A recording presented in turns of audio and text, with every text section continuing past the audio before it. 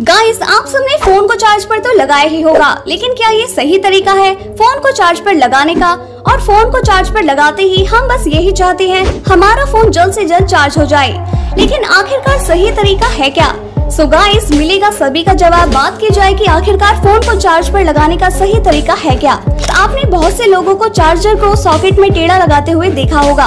और ऐसा करने से लोगों का कहना है कि फ़ोन जल्दी भी चार्ज होता है। सो इस बात में कितनी सच्चाई है, चलिए जानते हैं।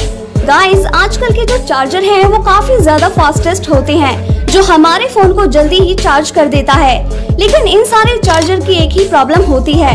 वो ये कि इन सारे चार्जर से फ़ोन को चार्ज करने के लिए बिना किसी स्पार्क और एक ही फ्लो में करंट चाहिए होता है। दरअसल, जब हम रोज़ाना चार्जर का इस्तेमाल करते हैं तो इससे सॉकेट और चार्जर के बीच एक छोटा सा स्पार्क जनरेट होता है। जो कि दिखाई भी नहीं देता।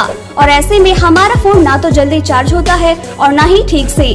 ऐसे में सही तरीका ये है कि चार्जर को अगर सॉकेट में टेढ़ा लगाया जाए तो फ़ोन जल्दी भी चार्ज होता है। सो so फाइनली आप जान ही गए होंगे कि चार्जर को सॉकेट में डालने का सही तरीका है क्या। सो so, वीडियो इंटरेस्टिंग लगी हो तो इसे लाइक शेयर करना।